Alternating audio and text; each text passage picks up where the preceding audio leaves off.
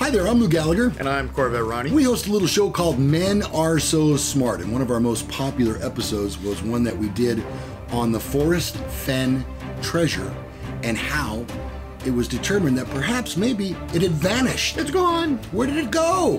Who took it? Or is it just a frustrated searcher?